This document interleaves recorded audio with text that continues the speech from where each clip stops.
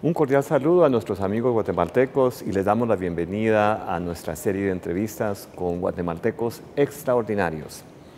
Hoy vamos a tener el gusto de conocer a un atleta paralímpico, a un especialista en para taekwondo y una persona que ha participado a nivel mundial y ha ganado seis medallas en campeonatos mundiales, panamericanos y una serie de actividades. Él ha estado participado en eventos en todo el mundo, en Azerbaiyán, Rusia, Aruba, eh, muy pronto se irá a Lima. Para mí es un gran placer presentarles a Gerson Mejía. Gerson, mucho gusto conocerte. Mucho gusto, un placer estar aquí con usted y poder compartir un poco de experiencias con, su persona. Pues eh, leyendo un poquito tu hoja de vida, es verdaderamente impresionante. En lugar de leerla, tal vez si no, tú nos puedes contar de dónde vienes, dónde naciste, dónde creciste. Eh, empecemos por eso. Eh, pues yo practiqué el taekwondo hace a los cinco años. Eh, fue en curso de vacaciones en un gimnasio afiliado a la Federación Nacional. Pues se me abrieron las puertas porque por mi discapacidad pues no me dijeron no. a través de los años pues sí, seguí practicando, eh, representé a nivel gimnasio a Guatemala y luego pues ya me abrieron las puertas la Federación Nacional en 2017. Eh, entrené un año acá también, que igualmente no se me cerraron las puertas.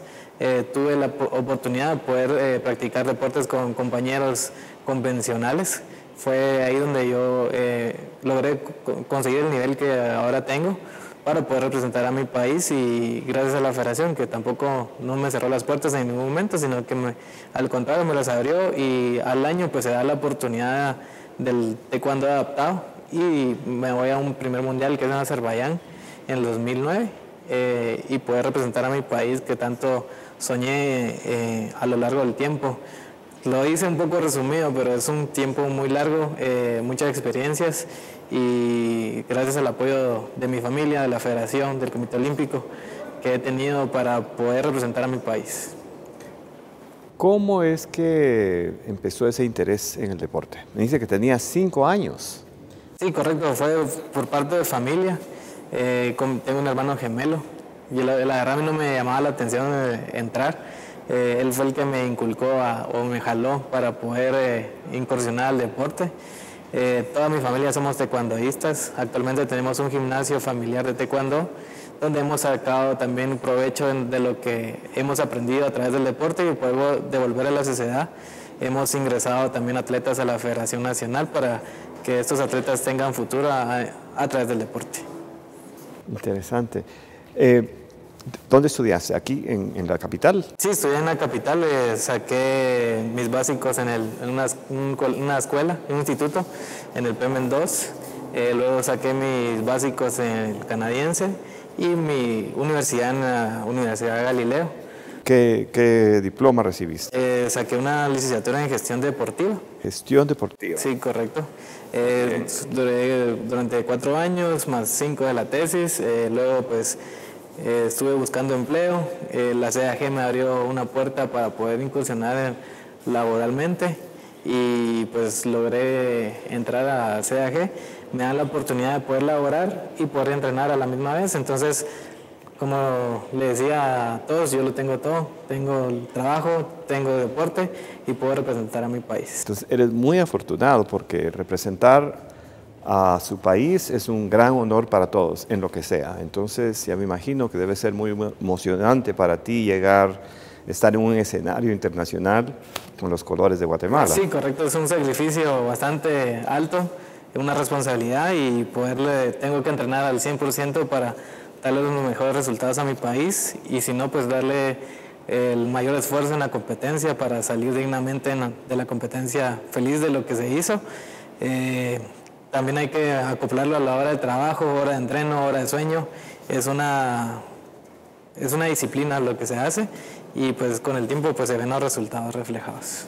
Tenemos por aquí alguno del equipo, me imagino que lo utilizan para taekwondo, ¿no? Sí, correcto. ¿Nos puedes explicar qué, son, estas, qué son estas cosas? Estos son petos electrónicos que ahora se usan actualmente se usan como chalecos. Eh, también tenemos los piecitos que se, son electrónicos, ahorita no los tengo en este momento, pero se debe utilizar eh, cierta potencia y pegada para que los puntos marquen.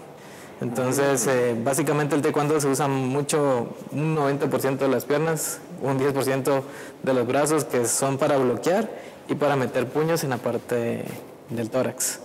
Eh, también están los cascos que son electrónicos, que igualmente necesitan un poco de, contacto para que el sistema marque y pues gana el que tenga, tenga más puntos.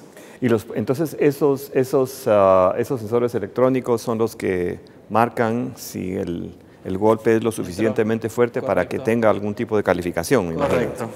Entonces, estas son las, la última generación. Eh, actualmente fue la federación que adquirió estos petos.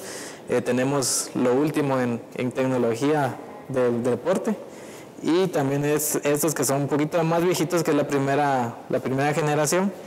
Y lo que está ahí al fondo pues son petos convencionales que son para entrenamientos, eso no tienen sensores. Y básicamente eso es lo que se utiliza para la hora de competir. ¿Y ese, esa, qué es una almohada? Es el punch o dummy se le llama. Es, básicamente se lo usa para entrenamientos, para pateo, eh, más que todo es para fuerza. Hay otras que se llaman palchai o paletas, que son para precisión. Y eh, básicamente son los dos implementos que utilizamos. podemos, podemos probar? Sí, sí, con mucho gusto. Pero no muy duro. No, no muy duro. No, no, no puede Yo ya soy, yo ya soy un anciano. A ver, ¿cómo, cómo lo...? Esto cómo se, agarra de esta forma, aquí cruzado. Ya. Y se pone de esta forma. Ya, bueno. Vamos a probar. Eh, ¿a, qué a, esta, ¿A qué distancia? Ahí está bien, ahí está bien. Y solo darle duro, me inclino hacia adelante. ahí está bien, yo le voy a patear suavecito. Ya, suavecito, pues. Y se patea. Ya. Un, un, un, poquito más duro. ¿Más duro? Un poquito más duro. Uh. muy bien, muy bien, muy bien. ¿Se siente? Sí, se siente. pero... digamos, el segundo golpe ya registraría acá.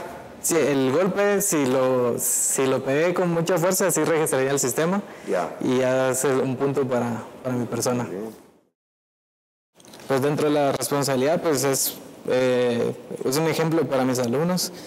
Eh, enseñarles que también, así como yo les exijo, yo también me exijo, eh, poderles demostrar que sí se puede, a través de las adversidades que la vida a uno le pone, eh, también a través del apoyo familiar, porque sin mi familia no había logrado nada, a través de unas instituciones deportivas que he contado con mucho apoyo. Al final yo me siento afortunado, eh, lo tengo todo como anteriormente le dije, tengo familia, tengo trabajo, hago deporte, represento a mi país, eh, tengo un negocio familiar, eh, donde a través del negocio pues devuelvo algo a la sociedad y es una responsabilidad muy grande para, para mí y poderle devolver a, a, mi país. Tengo un refrán que es como que venimos al mundo para hacer historia y dejar huella en la vida. Si tú pudieras hacer algo por Guatemala a través del deporte, ¿qué es lo que harías? Pues me gustaría eh, poderme abocar a alguna fundación donde hayan personas con amputaciones en miembros superiores para poderles demostrar o enseñarles mi deporte, eh, que a través del deporte pues se pueden eh, ir sobresaliendo, superando barreras y pues si sale algún talento deportivo que pueda representar al país pues sería lo más honorable que yo podría tener y poderle devolver al país lo que a mí me dio. Bueno, tú eres una persona joven, exitosa y me imagino que eh, algunos jóvenes te ven a ti con mucha admiración y eso trae gran responsabilidad. Eh, ¿Qué mensaje le darías tú a los jóvenes que están pensando en, el deporte o que, que, tal vez andan un poco perdidos y, te ven a ti? ¿Qué mensaje les darías? ¿Qué les recomendarías? Que se esfuercen, que nada es fácil en, la vida. el tiempo de cada persona es diferente eh, algunas personas pues les llega antes los beneficios, a otros les llega pues un poquito después. Eh, seguir luchando y que el tiempo de uno es hasta que, que uno va consiguiendo, se va esforzando para lograr sus cosas, que no dejen de luchar por sus sueños y sus anhelos, que tengan metas claras a corto, mediano y largo plazo y que se los vayan eh, construyendo y realizando. A ver, dime, me imagino que has tenido muchas experiencias. Estás compitiendo desde el 2009. ¿Cuál ha sido la experiencia que te ha impactado más en el tatami? El tatami, tengo sentido, es el... El, área de competencia. como dirían en Guate, el petate, ¿verdad? donde, donde se compite. Sí, correcto. A ver, cuéntanos, ¿cuál, ¿cuál ha sido tu experiencia más, más... Pues tengo dos experiencias impactantes. Eh, una que fue la primera el primer mundial donde en Azerbaiyán 2009 donde me dijeron que me iba a ir al mundial donde como le digo el tiempo de uno pues a mí me llegó hasta el 2009 a mi hermano gemelo que, que él empezó empezamos al mismo tiempo él entrenó, antes a, a, la federación compitió a nivel internacional antes que yo entonces eh, la mayor uno de los impactos fue que yo pude representar a mi país dentro del deporte en el primer mundial de para taekwondo que fue en Azerbaiyán. Esa fue una de mis mayores experiencias, eh, poderme enfrentar a atletas de gran nivel como es Azerbaiyán, España y, e Irán. Pues la otra que yo recuerdo y nunca se me va a olvidar fue la en Turquía en el 2015. Eh, tuve la oportunidad de que mi hermano gemelo fuera como coach. Entonces eh, fue un anhelo que siempre hemos tenido los dos de... Yo era al revés porque yo quería ser coach de él. Y fue, la situación fue al revés. Él fue mi coach en esta competencia y poder representar a mi país con, con mi hermano atrás, entonces es, es una situación muy linda, muy cariñosa, muy familiar y, y, gracias a Dios pues se dio la medalla de plata en esa, en esa competencia. Eh, experiencias en cada viaje se va formando uno como persona eh, y siempre la, humildad de, de, de dónde venimos y hacia dónde vamos y nunca olvidarse de eso. Correcto. ¿Qué se siente estar en la tarima cuando te ponen la medalla y tocan el himno de tu país? Es lo más lindo que puede haber, eh, es de tanto esfuerzo, tanto sacrificio recompensado en un momento de dos minutos, tres minutos, eh, de entrenos de años, de, semanas, intensidades altas, cansancio, sudor, dolor, eh, recompensado en tres minutos es lo más gratificante. Eh, además, pues sirve como motivación para las personas, los ciudadanos guatemaltecos que ven noticias positivas a través del deporte. Bueno, mira, Gerson, es un verdadero placer y honor conocerte.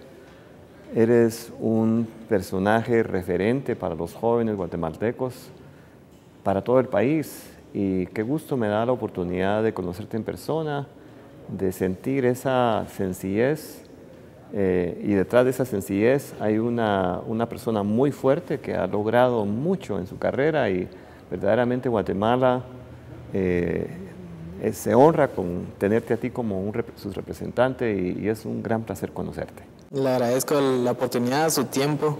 Eh, no me esperaba esto, fue una sorpresa tener, tener esta entrevista con su persona. Eh, nada más, muchas gracias por sus palabras, me honran y gracias por su tiempo, señor embajador.